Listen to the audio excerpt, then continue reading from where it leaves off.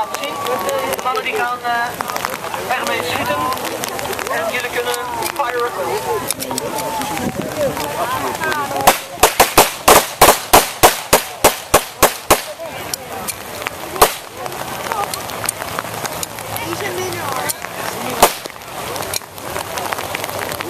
Iedereen leeg, even controleren. 7. 7. 7. Dank jullie wel. Ja, nog heel even, houden we weer op. De regen we zijn toch aan Het volgende wapen uh, waar ik wat over... De M1 Karabijn. Daar hebben we twee versies van. En dat is er eentje met een vaste vorm en we hebben er eentje met een klapvorm. Die klap werd gebruikt, die werd gebruikt door de paratroopers. En die hadden hem aan het been in een lekbag en daarmee sprongen ze uit het vliegtuig. Als ze beneden aankwamen konden ze snel uit de halen en konden ze gaan schieten. Het is een uh, wapen in punt 30 M1, speciale munitie die alleen gebruikt wordt voor dat betreffende wapen. Patrick uh, gaat het laten horen.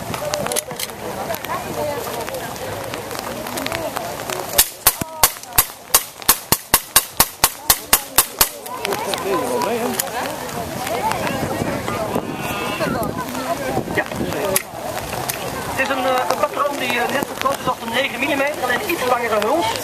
Uh, het is niet een heel zwaar wapen, 300 meter bereik, dan heb je het echt wel gehad. En daarom is eigenlijk het infanteriewapen van de Amerikanen in de Tweede Wereldoorlog de M1 Gern. De M1 Gern, een zwaar wapen, mag ik er nog even laten zien? Jij gaat het. Oh, jij hebt hier. De Gern. Je ziet het, een robuust wapen in vergelijking met die karabijn. Uh, grote, lange loop, zware sleden, zwaar huis, zware kast. En de patronen die worden ook wat groter, dat zijn deze joekels. En zo werkt het in de munitieland. Hè. Hoe, meer, hoe langer de patroon, hoe meer kruid, hoe meer kracht de punt heeft, hoe verder de punt. Nou, dat is ook wel afgelopen. Goed voor elkaar, jongen.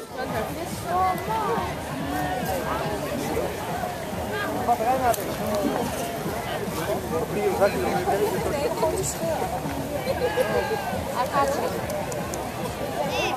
hij is voor de militaire politie, hè? Kan niet toch wel? Nou moet ik het even hebben van mijn stem. Beetje stel bij! Gisteren werd ik al beticht dat ik niet zo'n commando-achtige stem heb. Dus ik ben inderdaad wel afhankelijk van even dat u alles stil bent, dat iedereen kan horen wat ik vertel. Grote patroon, dus patroon.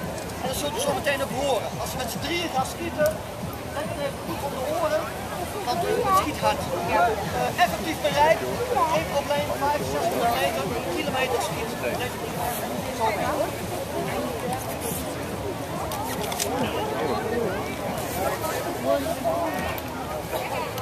Let even op, je wordt aan de bovenkant geladen.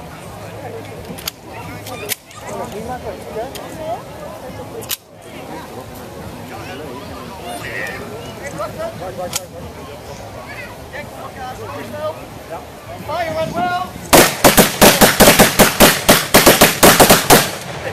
dat doen we. Maar dat knapt wel nog. Zo.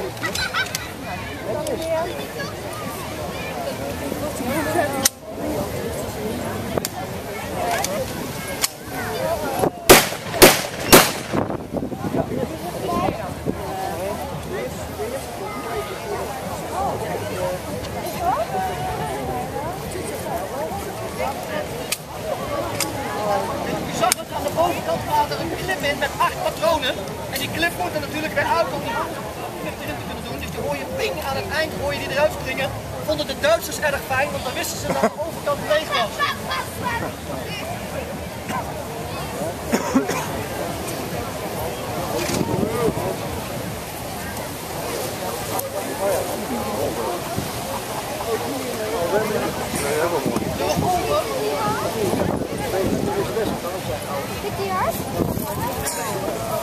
revolver Revolver was een beetje de tegenhanger van het Colt 1911 pistool en was niet standaard. Heel veel soldaten kregen, omdat ze geen pistool hadden, vanuit huis een revolver opgestuurd om zichzelf van nabij te kunnen verdedigen. Dit is een Swiss Wesson 38 Special.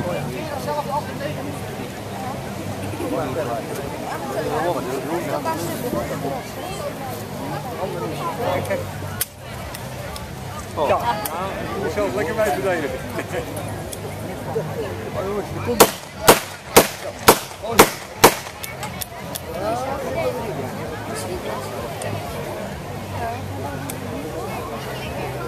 Hij moet wel checken allemaal weten. Ja. Hij hoorde wel. 4 meter. hè. Dat we breekt bijna. Maar wel op een bak weten. Op de kop op de de bumper. Oh, nou, nou komt nou, komt- nou kom je mooi nou.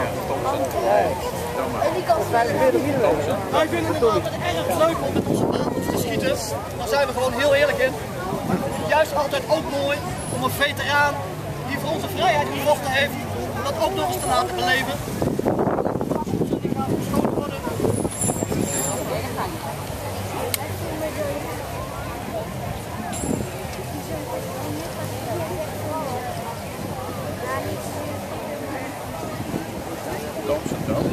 En op je oren. Hij is niet heel hard.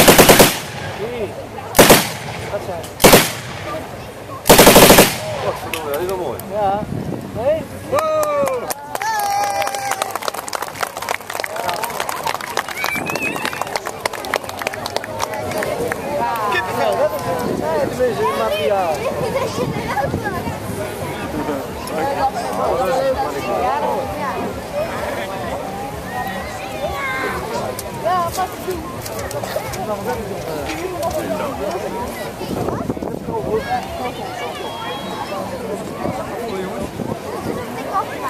Kai,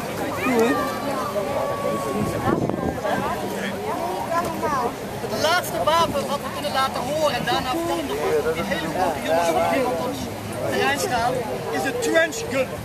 De trench gun is een hagelgeweer en werd vooral gebruikt door de MP's, de military police en in de Pacific werd die gebruikt. De hagelpatroon is alleen maar voor heel dichtbij. In het oerwoud van de Pacific vonden ze het heel fijn als ze niks zagen door de bladeren. Hier even vijf van die dingen door de bladeren heen te voordat ze verder liepen. Ik ga hem nu laten horen.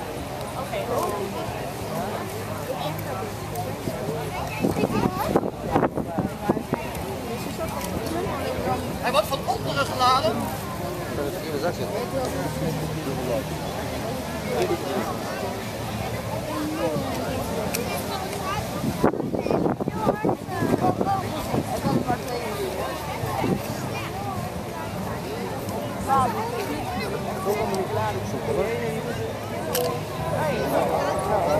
Normaliter wordt van onderen geladen. Vijand is een mooi man in verdwenen. Hoor dit. Ja,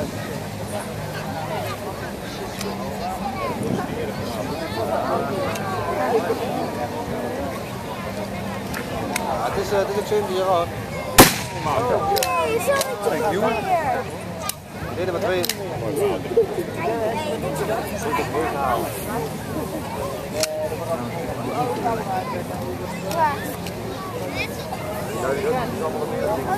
die.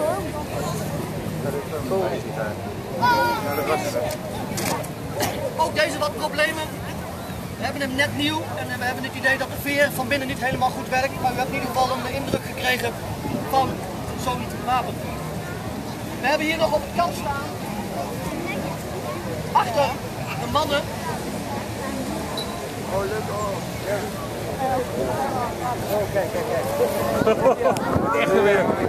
Kijk, dat, dat is pas goed. Dat is pas goed. Daar kunnen we helaas niet firing mee schieten. We zouden het heel graag willen, maar dat is gewoon in Nederland. En je wordt er ook ernstig arm van, want de munitie is ontzettend. Heel groot wapen met een munitieband, patronen. Maar kijk het straks maar even. Werd vooral gebruikt tegen objecten. En niet zozeer tegen mensen, want als je er mee raakt, schiet je hem gewoon midden. Er staat ook nog een 60 mm mortier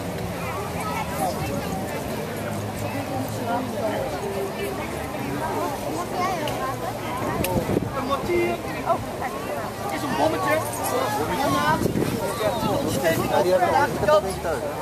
Je gooit hem van bovenaf in de buis.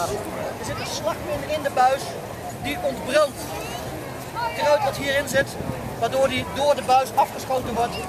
En hoe steiler je hem zet, hoe dichter die bij je komt. Dus als je hem recht omhoog zet, krijg je hem op je eigen dak zonder wind. 60 mm erg vernietigend, hadden ze verschillende soorten. Die, konden die, die, koppen, die koppen konden ze eh, verwisselen. Eh, en met, eh, bij elke compagnie hadden ze wel zo'n Laat je die zien dan. Als laatste, maar die kunnen we nu niet zien. Hier op de. Kijken, op die zijkant staat een punt. Stelt zijn auto. Op met een man, wat. Er staan bussen daar. Duitse auto.